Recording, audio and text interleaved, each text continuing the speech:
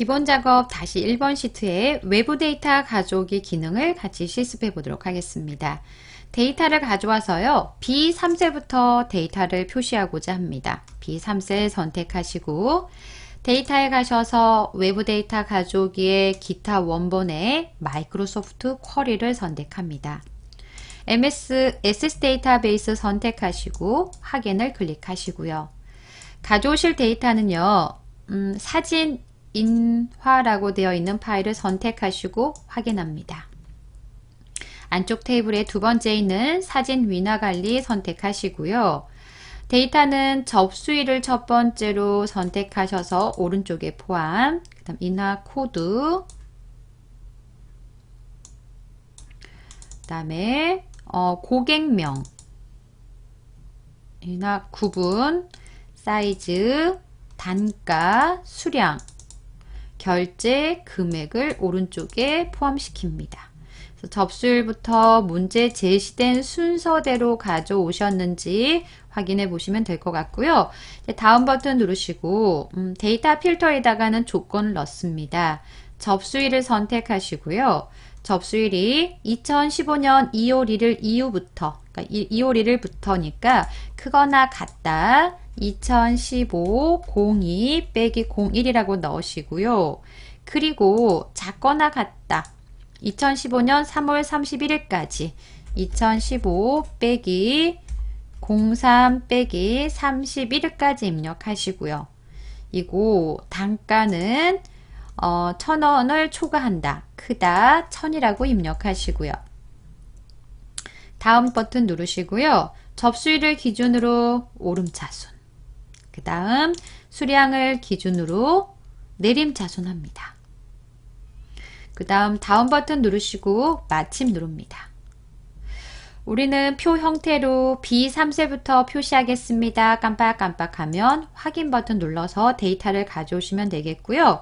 문제 제시된 데이터 다시 한번 확인하시고요. 접수일 다시 한번 2월 1일부터 3월 31일 데이터까지인지 단가가 1000원을 초과하는 데이터인지 접수일을 기준으로 오름차순 되어 있는지 같은 날짜라면 이제 수량을 기준으로 내림차순 되어 있는지 확인하시면 될 것 같습니다.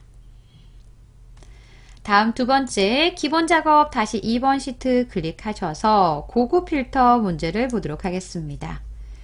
어, 고급 필터에 따로 뭐 조건을 수식을 사용하라는 언급이 없다면 문제 데이터를 가지고 조건을 작성하시면 될 것 같고요.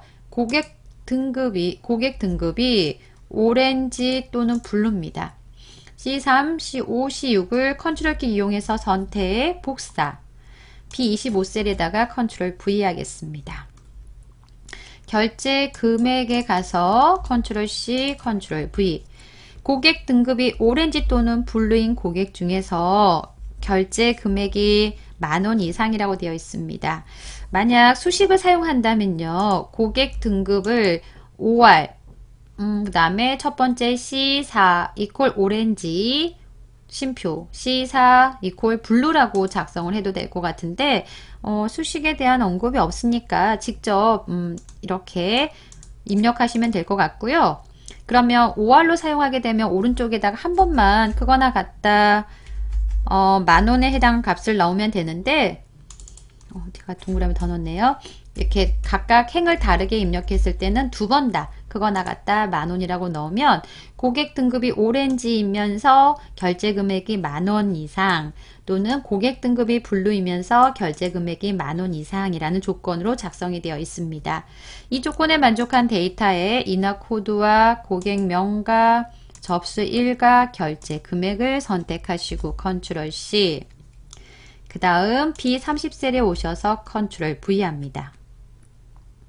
이제는 어, 데이터 안쪽에 커서를 갖다 놓으시고요. 데이터에 정렬 및 필터에 고급 가셔서 B3부터 K23의 데이터를 가지고 조건 범위 B25부터 B27 데이터에 만족한 데이터를 복사 이치는 B30부터 E30 영역에 만족한 필드만 가져오겠습니다. 확인 버튼 누르시면요. 해당된 데이터만 가져다가 표시된 걸 확인할 수가 있습니다. 다음 세 번째 조건부 서식 문제 보도록 하겠는데요. 현재 작업하셨던 기본 작업 다시 2번 시트에 B4부터 K23까지 선택하시고요. 그 다음 홈에 가셔서요. 스타일에 가셔서 조건부 서식에 새 규칙을 선택합니다. 수식을 사용하여 서식을 지정할 셀 결정 선택하시고요. 아래쪽에 오셔서요. 수식 이퀄 넣습니다. 그 다음 이나 코드의 마지막 문자가 M이고 라고 되어 있고요. 뭐뭐이고 조건이 두 가지인데요. 둘 다 만족해야 되는 것 같습니다.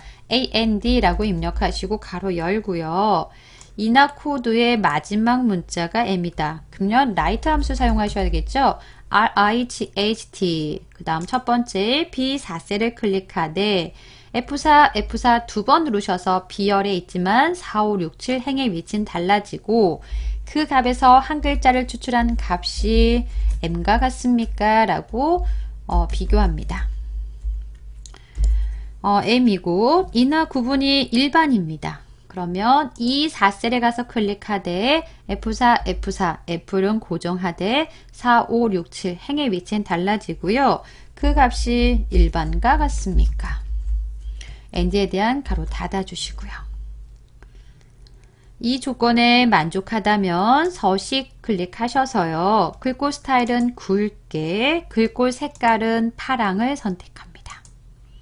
확인 버튼 누르시고 다시 한번 확인 버튼 누르시면 어, 샵샵샵 표시가 되는 거는 열 너비 좀 조절해 주시면 되겠죠. 그래서 끝자리가 M이고요. 그리고 일반에 해당한 데이터에만 서식이 들어간 걸 확인할 수가 있습니다. 외부 데이터 가져오기 15점, 고급 필터 5점, 조건부 서식 5점 문제였습니다. 다음은 계산 작업 보도록 하겠습니다. 계산 작업 첫 번째 음, C4부터 C23에 고객 등급을 구하라고 했는데요.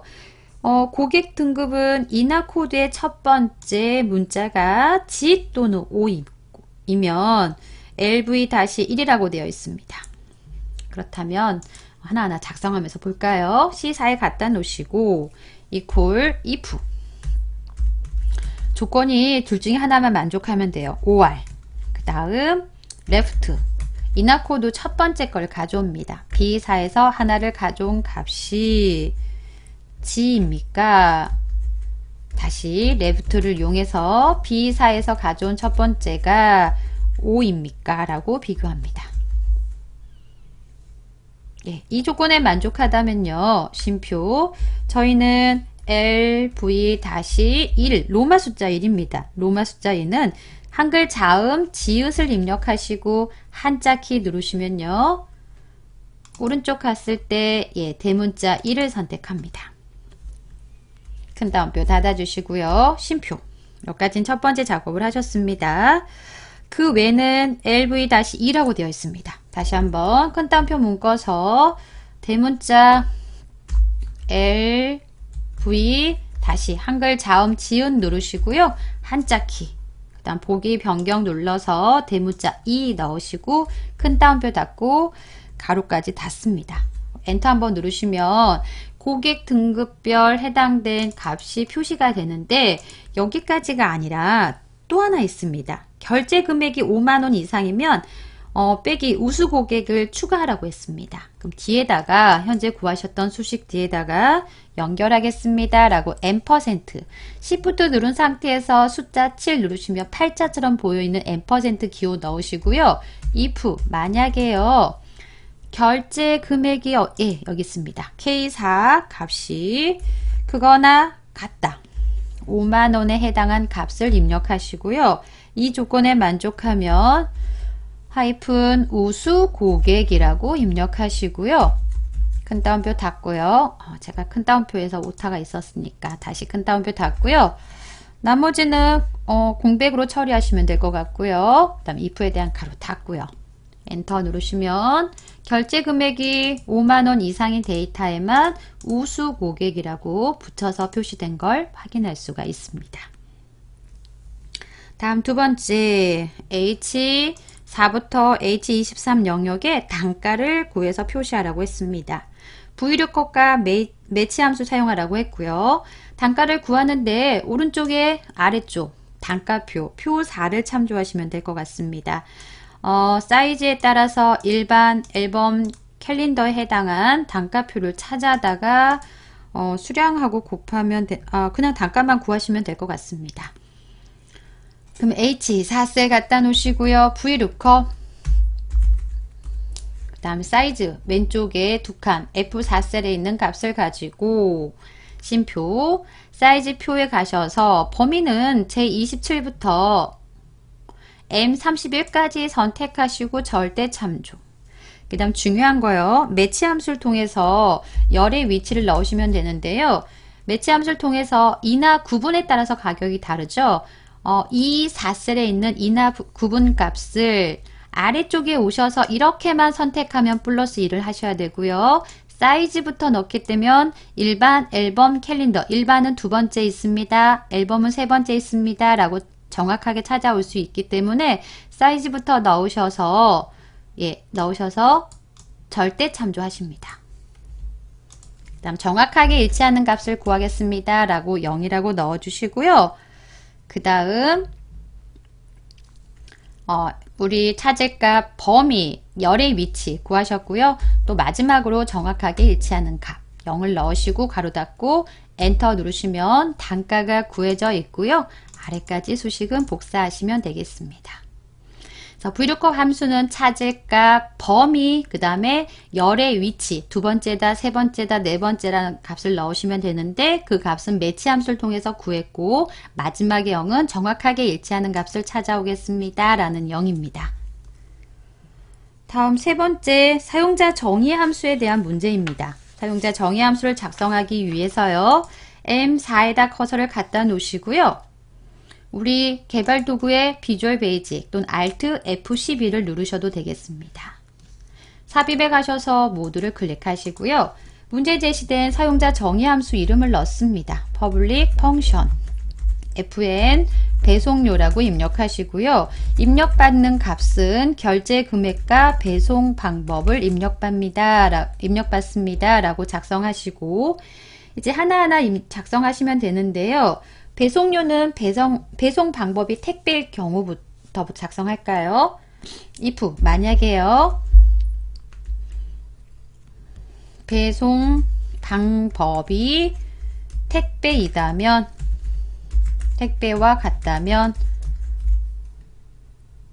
인 경우 결제 금액이 3만원 미만이면 다시 한번 어, 엔드로 연, 작성하셔도 되고요. 또는 줄을 바꿔서 작성하셔도 될 것 같습니다. then 택배이다면 다시 한번 if 결제 금액이 3만원 미만입니까? 그렇다면 fn 배송료는 3,000원입니다. 결제 금액이 3만원 미만이 아니라면 s 배송 fn 배송료는 0입니다. 그다음 안쪽에 있는 if에 대한 가로를 닫기 위해서 end if 닫아주시고요. 다시 한번 이제 택배에 대해서 돌아왔습니다. 어, 택배가 아니라면 else if 배송 방법이 혹시 킥입니까? 그렇다면 then fn 배송료는 12,000원입니다. 그 다음 어, 킥도 아니라면 else if 배송 방법이 직접 수령입니까?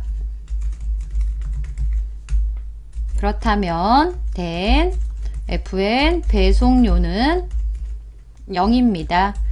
그 다음 처음에 시작하셨던 if에 대한 문을 닫기 위해서 end if 닫아주시고요. 오른쪽에 닫기 한번 누르시고요. M4셀에 커서 갖다 놓습니다. 함수 삽입 가시고요. 사용자 정의에 가셔서 FM 배송료 선택하고 확인. 결제 금액, 배송 방법 넣으시고 확인하시면요. 어, 킥이니까 12,000원. 그 다음에 택배일 경우에는 결제 금액이 3만원을 넘으면, 아, 예, 3만원 넘으면 0인데 3만원이 안 될 때는 3천원이라고 표시된 걸 확인할 수가 있습니다. 또한 직접 수령도 0이라고 표시된 걸 확인할 수가 있고요. 다음은 이제 표 아, 문제 4번에 가서요. 표 1의 접수일과 결제 금액을 이용해서요. 표 2의 매출액에 대한 값을 구하라고 했습니다. C27셀에 갖다 놓으시고요. 월별 음, 월별 매, 접수일과 그러니까 접수일에 대한 월과 결제 금액을 이용해서 어, 값을 구하시면 될 것 같습니다. 어, C27셀 갖다 놓으시고요. 문제 제시된 함수 먼저 썸부터 넣겠습니다. If 함수 사용하라고 했으니까 if 넣으시고요. 1월달인지를 비교하기 위해서 month 함수 넣으시고 접수일에 가서 접수일 I4부터 I23까지 선택하되 수식을 복사하더라도 접수일의 위치는 동일합니다. F4 눌러서 절대 참조, 가로 닫으시면 월을 추출할 수가 있고요. 이 월이 바로 왼쪽에 있는 1월과 같습니까? 라고 비교하고요. 1월이라면 우리는 매출액에 대한 합계를 구하겠습니다. 아, 결제 금액에 대한 합계를 구하겠습니다. K4부터 K23 수식을 복사하더라도 결제 금액에 대한 영역은 동일합니다. F4 눌러서 절대 참조. sum에 대한 아, if에 대한 괄호 닫으시고요. sum에 대한 괄호 닫으신 다음에 Control Shift Enter 눌러서 마무리하시고 아래까지 수식을 복사해 주시면 될 것 같습니다. 다음 다섯 번째 문제 보도록 하겠는데요. 표 1의 인화 구분을 이용해서요. 구분별 인화 건수의 비율을 구해가지고 표시하라고 했습니다. 네, 먼저 equal 넣으시고요. 문제에서 count와 if와 count a 함수를 이용한 배열 수식이라고 되어 있습니다. 개열, 어, 개수를 구하기 위해서 count 넣으시고요. 조건을 넣기 위해서 if. 먼저 왼쪽에 있는 인하부 구분과 같습니까? 라는 비교 작업 필요할 것 같습니다. 위쪽에 가셔서 음, 24부터 E23의 영역의 데이터가 F4 수식을 복사하더라도 같은 위치입니다. 라고 F4 그 값이 바로 왼쪽에 E27과 같습니까? 그렇다면 우리는 인학 건수 수량을 가져오도록 하겠습니다. 인학 건수를 왜 수량을 넣냐면 개수를 구하기 위해서요. 음, 숫자가 들어있는 열을 넣어야 되기 때문에 수량을 선택하도록 하겠고요. 수량의 위치는 항상 같은 자리입니다. F4 눌러서 절대 참조. 어, if에 대한 가로 닫으시고요. count에 대한 가로 닫으시고요. 그 다음 다시 한번 슬래시 총 인하 건수라고 되어 있으니까 count a 함수 이용하셔서 어, count a는요. 문자가 들어있어도 상관없고요. 숫자가 들어있어도 상관없습니다. 그래서 문자가 들어있는 인화 구분 E4부터 E23을 선택하되 수식을 복사하더라도 항상 같은 자리입니다. F4 눌러서 절대 참조하시고요. 괄호 닫습니다. 문제에서요. 음, 인화 건수의 비율을 구하는 식이요. 인화 구분별 그러니까 인화 구분별 인화 건수를 구하는데 그거는 count if를 통해서 인화 구분에 가서 바로 왼쪽에 있는 일반 앨범 캘린더와 같습니까? 그렇다면 숫자가 들어있는 셀에 가서 값을 가져와다가 개수를 구했습니다. 그 다음에 총 인화 건수, 총 몇 건인지를 넣기 위해서 문자가 들어있는 함수, count a 함수를 사용하기 위해서 count a, 그 다음에 인화 구분에 가서 전체 데이터를 가져오면 총 몇 건인지를 구할 겁니다. 그래서 그 값을 나누어 주면 되겠고요. 배열 수식이니까 Control Shift Enter 눌러서 마무리 하시고요. 아래까지 수식은 복사해 주시면 되겠습니다. 자, 여기까지 어, 기본 작업과 계산 작업 살펴보셨습니다.